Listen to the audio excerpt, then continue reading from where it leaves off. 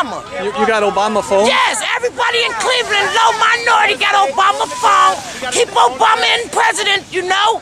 He What? gave us a phone. He gave you He a phone. do more. How do he give you a phone? You, you sign up if you're you on full stamps, you on Social Security, you got low income, you disability.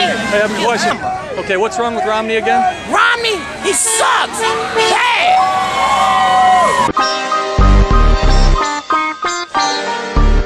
Here trying to get some Obama bucks. That's what I'm doing, trying to get some Obama money.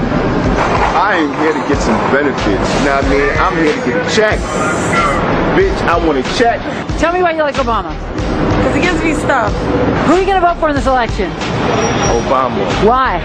because he's black. So what do you get from the government? Tell me everything you get from the government. All I get, stamps,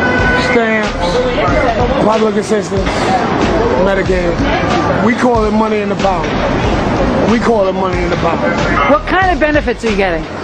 Oh, let's see. Whatever the hell they got to offer, like, I don't even know. They ain't like they got a checklist, like, nigga, we gonna offer you this, this, and that. I'm just here to get what I can get. Food stamps. It's just food. It's like food. When was the last time you actually worked? Oh, we say about half a decade. But you're a perfectly healthy young man. Why aren't you working right now? Because my background. Once you go to jail, it's hard to get a job.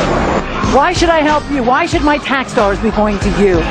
Only because my ancestors came here and helped build this place. What do you mean? My ancestors, the slaves.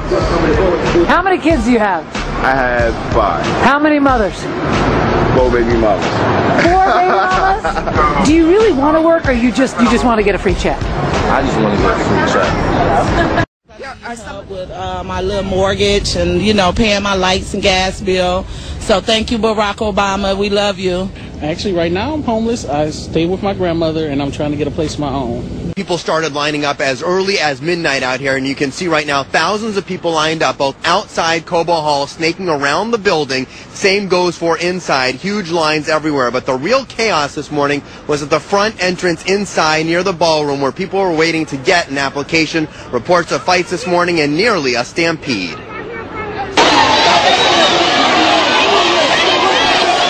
Chaos at Cobo. Thousands of people lined up to pick up applications for housing assistance. No organization whatsoever.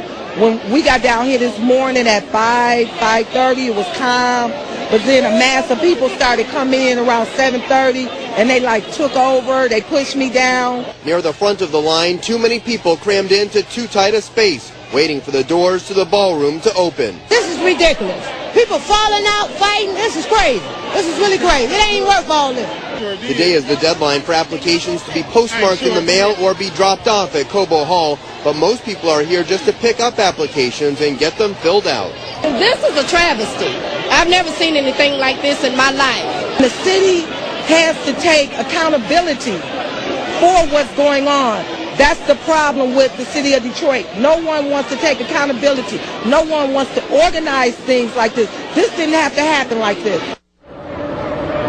People out here absolutely furious as to how this was handled this morning, and they have every right to be. There were several ambulances that have been out here uh, treating people for medical attention. Many people were passing out this morning because of the huge crowds inside. Now, we just got an update from City Hall. They say if you are not down here, do not come down here. early There are just too Wednesday many for this. Her emotions ran high following Obama's speech. It was the most memorable time of my life. I, I, it was a touching moment because I never thought this day would ever happen. I won't have to worry about putting gas in my car. I won't have to worry about paying my mortgage. You know, if I if I help him, he's gonna help me.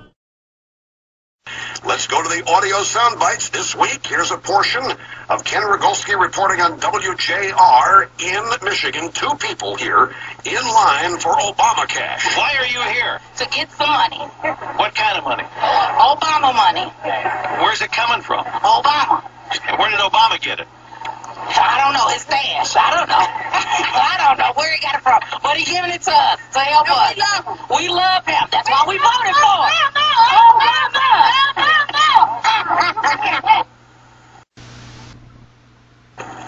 To fill out yet? I sure did. And I filled it out, and I am waiting to see what the results are going to be. Will you know today how much money you're getting? No, I won't. But I'm waiting for a phone call. From? I believe it's coming from the um, city of Detroit or the state. Where did they get it from? Some funds that was given by Obama. And where did Obama get the funds? Obama might have gotten the funds from, um, I have no idea. To tell you the truth, he's the president. In downtown Detroit, Ken Rogulski, WJR News. Now, let me, let me put this in perspective. This is the model citizen in Barack Obama's vision.